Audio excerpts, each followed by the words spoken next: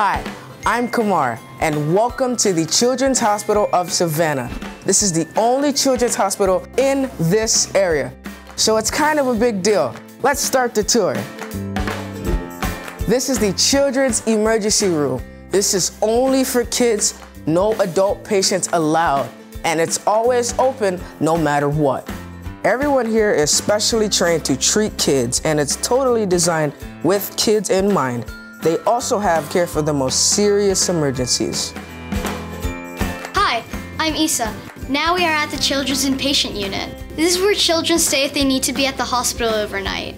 A team of specially trained doctors, nurses, and child life specialists provide the latest and greatest care for kids and their families. This is the Children's ICU, where they have the latest technology to treat the sickest kids. There's also a children's specialty unit for kids that need to stay in the hospital.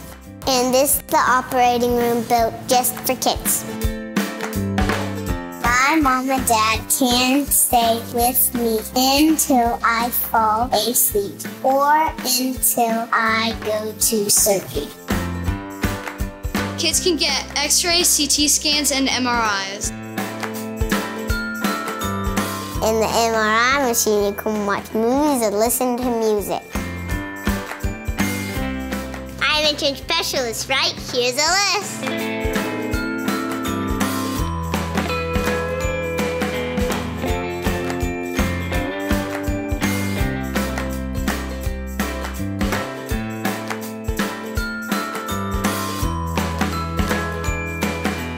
Whew, that's a lot of specialists.